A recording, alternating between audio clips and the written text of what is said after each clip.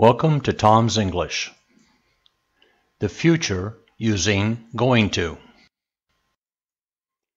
The simple future tense is easy to say in English. We simply use will plus the base verb. He will leave tomorrow.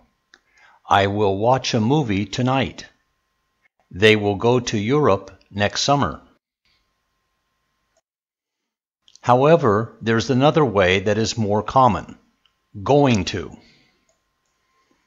This form is as follows. Subject plus am, is, or are, plus going to, plus the base verb. Subject, am, is, or are, going to, base verb. They are going to come tomorrow. Nancy is going to have a party tomorrow. I am going to buy a new car. I'm going to swim this afternoon.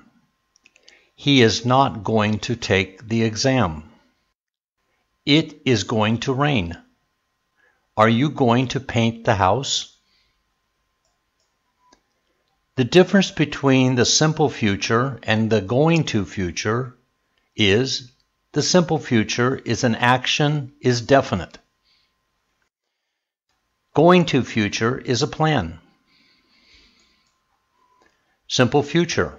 I will visit you tomorrow. It is a promise. Going to future.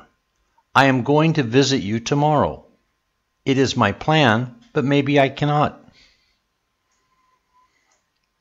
Native speakers will most often use the going to future because most actions are a plan. Anything can happen in the future. Watch for our next video. Tom's English, www.tomsenglish.org.